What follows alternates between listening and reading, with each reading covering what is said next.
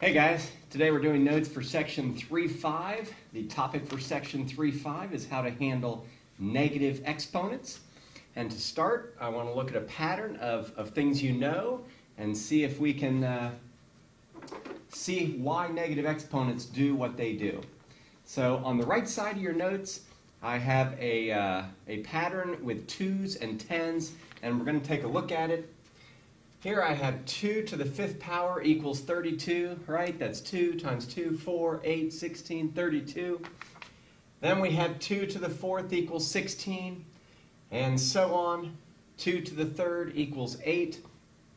And what I'd like you to notice is the pattern that is happening on the left side of the equal sign and the pattern that is happening on the right side of the equal sign. On the left side of the equal sign, what's happening is each time I go down, the exponent goes down 1, right? Goes from 5 to 4 to 3. And so on that side of the equal sign, I'm just going to continue that pattern. On the right side of the equal sign, as you drop the exponent down 1 each time, you're losing one of the 2's. And because you're losing one of the 2's, the pattern is that you're dividing by 2 each time. 32 divided by 2 is 16. 16 divided by 2 is 8. Hopefully it makes sense that each time you lose one of the 2's that you're multiplying by, on the right side you divide by 2 to make up for that. So what happens when you get down to 2 to the first power? Well, 2 to the first power would of course be just 2. And that makes sense. 4 divided by 2 is 2. Then 2 to the 0 power, well 2 to the 0 power would not be 0, it would be 1. And of course that makes sense because when you take the right side and you divide by 2, 2 divided by 2 gives you 1. That needs to be 1. And how about if I go one more, 2 to the negative first power? Well, I've got to keep the pattern going. When I lose a 2 on the left side, that means I'm dividing by 2 on the right side, and 1 divided by 2 would be 1 half.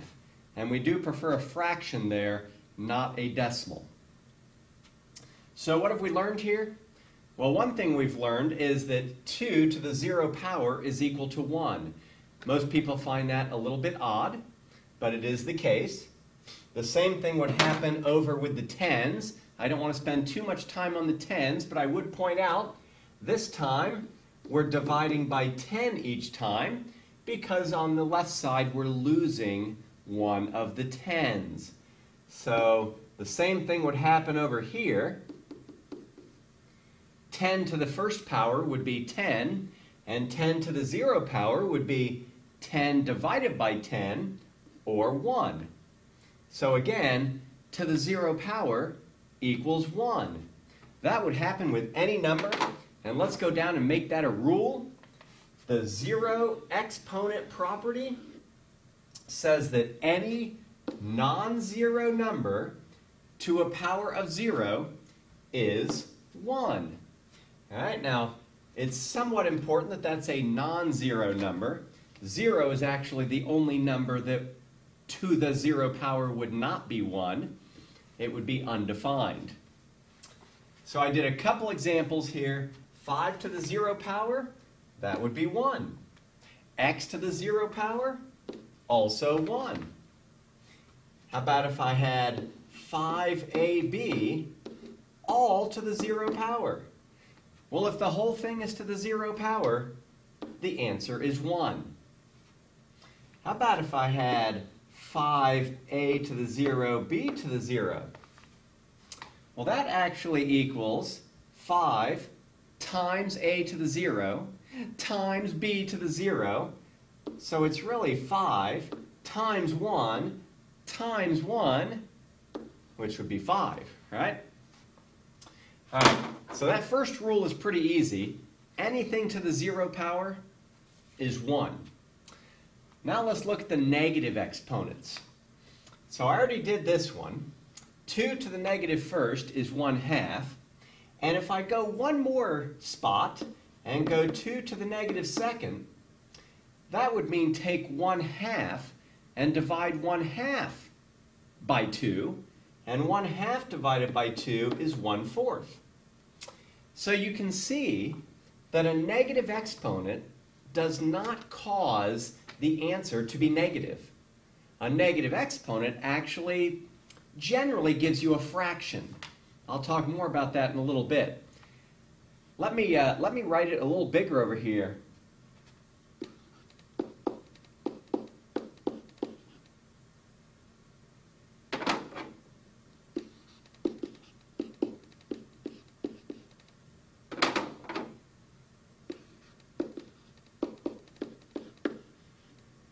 So this would be what 2 to the negative first, 2 to the negative second, and 2 to the negative third actually equals. But I want to point something out to you.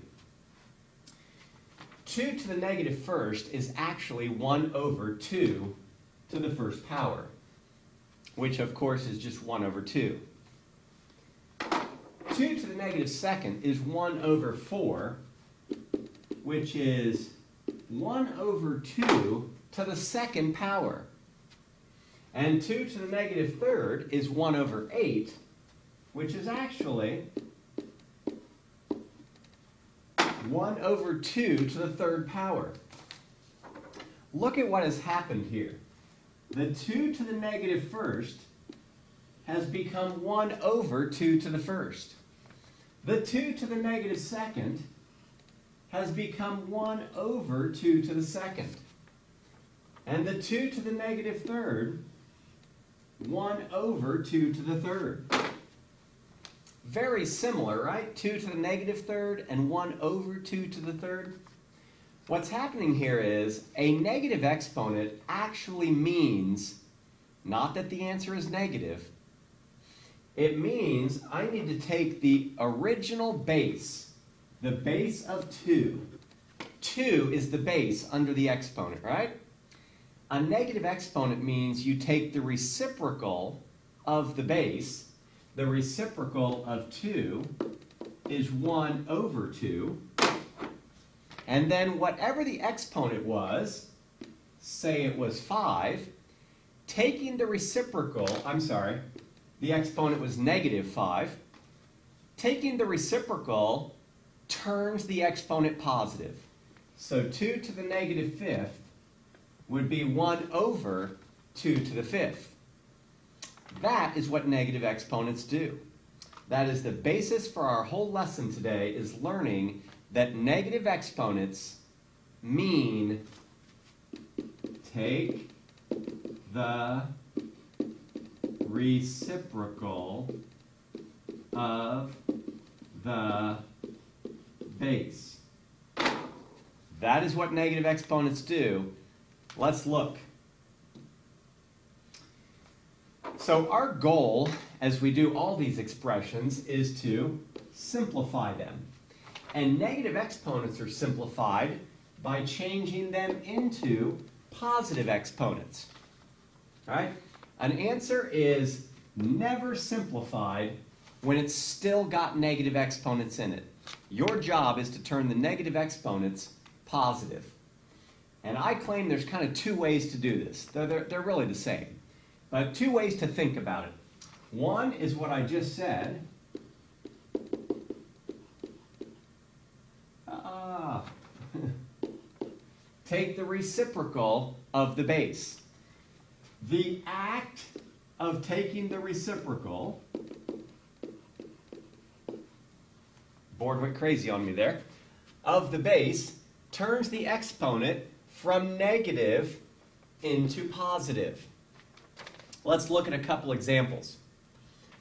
So if I had x to the negative second, now you might say, what's the reciprocal of x, right? Reciprocals are when you take a fraction, like 2 thirds, and you flip it upside down. So 2 thirds becomes 3 over 2. Right? Just take the fraction and flip it. And if something is not a fraction, you can make it a fraction, like say the number 7. You can make 7 a fraction by just putting it over 1. So the reciprocal of 7 would be 1 over 7. You just take the fraction and flip it over. That's how you get a reciprocal. So how does that work with the x? Well, with the x, you get its reciprocal by making it a fraction and then flipping it over. So this would become 1 over x to the second power. Taking the reciprocal turns the exponent positive. How about if I had a to the seventh, b to the negative fourth? Well, one way to do this would be to realize that this is a multiplication problem, and it would be a to the seventh times b to the negative fourth. But I want to simplify that b to the negative fourth by turning the exponent positive. So I'm going to make this a to the seventh times, and I'm going to take the reciprocal of b, 1 over b, and that turns the exponent positive. Now I can go ahead and multiply. Maybe I make a to the seventh into a fraction. Then I multiply the tops and get a to the seventh. The board is crazy. And 1 times b to the fourth is b to the fourth. And I have a to the seventh over b to the fourth. That would be my final answer. Let me do one more to show that uh, our other properties still work.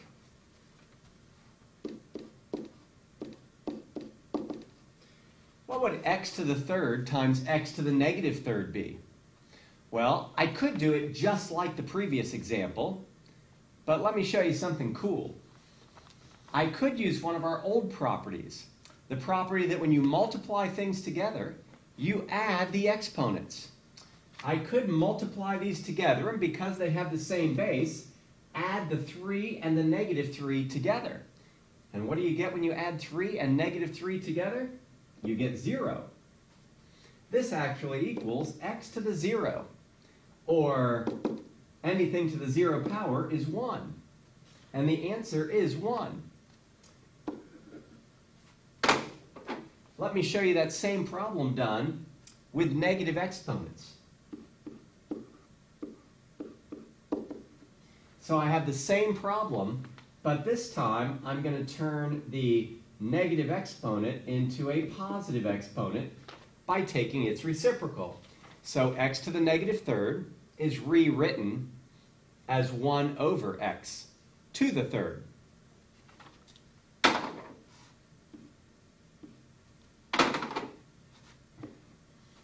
And then I will go ahead and multiply these two things together.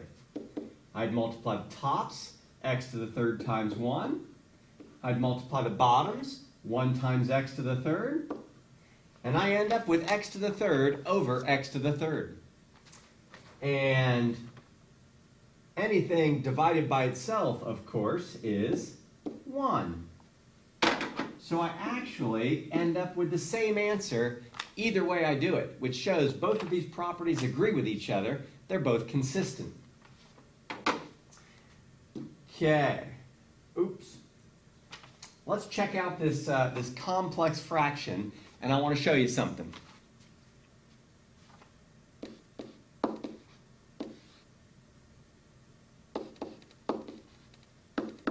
All right. I'm going to put negative exponents in a fraction and I want to show you what happens to it. So the top of this fraction is x to the negative second. Let's go ahead and take the reciprocal of that to turn the exponent positive.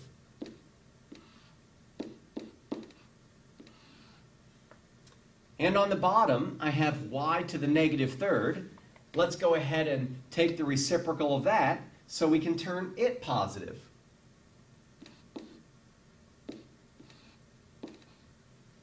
So what I really have here is 1 over x squared divided by 1 over y to the third. Now we're going to use our ability to divide fractions to take care of this. All right, we know that when you divide fractions, you actually change it to a multiplication problem and you flip the fraction you're dividing by. Right? You keep the top one, you change it to multiplication, and you flip the one you're dividing by. And the board is not being very friendly. So I have 1 over x squared times y to the third over 1. Keep, change, flip, right? Now let's go ahead and actually multiply.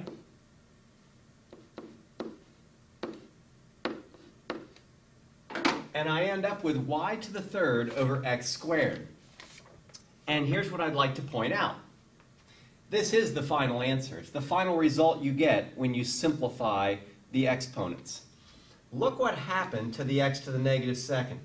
The x to the negative second went from being on the top to being on the bottom. And the y to the negative third went from being on the bottom to being on the top. And I would tell you that this will always happen with negative exponents. If you have a fraction with negative exponents in it, uh, if you have terms on the bottom, taking their reciprocal is the same as moving those terms to the top. And if you have a term with a negative exponent in the numerator, taking the reciprocal will move it to the bottom and put it in the denominator. You will not need to go through all this work in the middle if we simply learn that rule. Let's look at some examples with negative exponents. All right, so it says moving the base, this is what we just went over, moving the base with its exponent to the opposite place in the fraction. That turns the exponent positive. Moving the base to the opposite place in the fraction is just like taking the reciprocal. It turns the exponent positive. Uh, so, if you are, let's see, let's do some examples. Uh, so here's how I would simplify a fraction.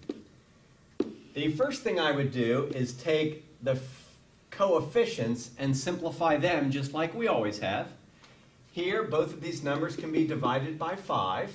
5 goes into 5 once, and 5 goes into 15 three times. Now, here's how I handle the variables the first thing I do is I move the negatives to where they belong to turn them positive. Let me show you. And I'm going to leave the positives where they are. On top, I have an x to the negative second. Well, since he's negative, he belongs on the bottom, and that turns him positive. I also have an x to the third on the bottom. He's going to stay there, because he is positive. On top, I have a y to the negative third. Since he's negative, he needs to move to the bottom and turn positive. On the bottom, I have a y to the negative first. Since he's negative, he needs to move to the top and turn positive. And the z's, they both have positive exponents. They can stay where they are. So this is what I end up with when I move the negatives to turn them positive. Now I start canceling stuff out like we did last section. I still have my one-third. Uh, the x's are all on the bottom, all five of them, so I have x to the fifth on the bottom. The y's have one on top and three on the bottom. So when I go to cancel stuff out, I'm going to have two extra on the bottom. And the z's have one on top and four on the bottom. So when I go to cancel those out, I end up with three z's on the bottom. That is my final answer. 1 over x to the fifth y squared z to the third. I have now simplified this correctly. Let's go down and do the last example because it's similar to this one. Another fraction Remember, first we want to simplify the coefficients. Now this is a negative over a positive, So it's going to stay a negative over a positive, and 5 goes into both of those numbers. Be negative 5 over 4. This time, well, no, we'll just go ahead. Uh, with the x's, what's happening with the x's? The 3 on the bottom are staying there. The 4 of them on top, since they're negative, they have to move to the bottom, right? Gives me that. The y's. The, the 3 on top are staying on top. But the one on the bottom is negative, so that guy needs to move to the top. And the z's, both negative, they both have to change places. So the z to the 10th actually ends up on top, and the z to the 7th actually ends up on the bottom. Now let's go ahead and uh, give our final result. I've got my negative 5 over 4. The x's look like they're all on the bottom, all seven of them. x to the seventh on the bottom. The y's look like they're all on top. That is a total of four y's on top multiplied together. The board got me again. And the z's looks like three extra on top. So it'd be z to the third on top. I hope you can read that. The board needs calibrated. So negative 5 y to the fourth, z to the third, over 4x to the seventh. Couple more examples and we'll, we'll uh, stop.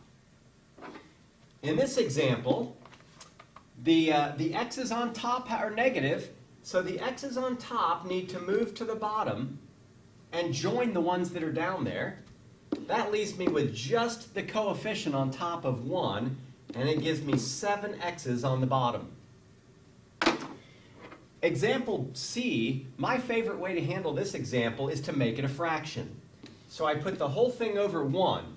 You can make anything a fraction by putting it over 1.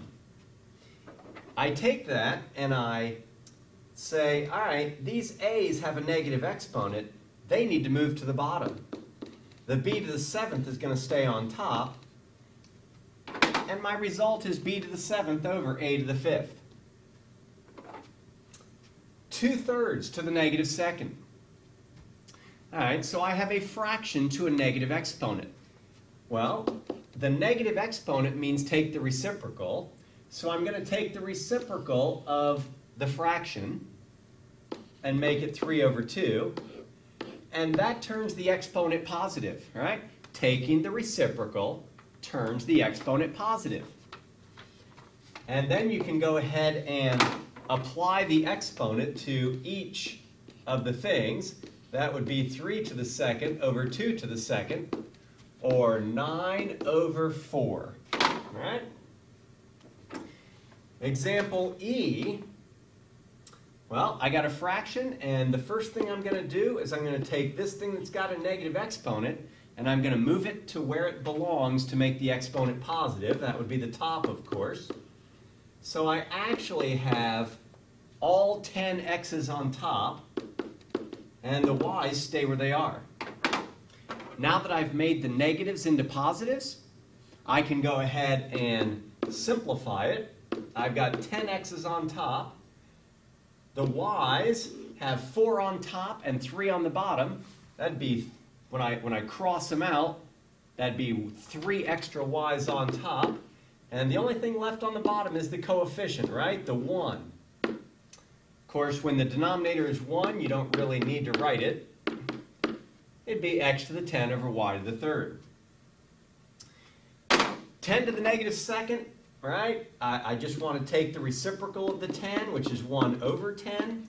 That turns the exponent positive, and I get 1 over 100. And last up, I'd probably handle this example like the variables. I would probably take this 2 to the negative third and move it to the top. And now there's nothing left on the bottom except the 1. Of course, when the denominator is 1, you don't really need to write it. That gives me 7 2's over 1, or 2 to the 7th power, which you could leave as 2 to the 7th, or you could figure it out. 2, 4, 8, 16, 32, 64, 128, 128. Hope that helps. Good luck with the homework.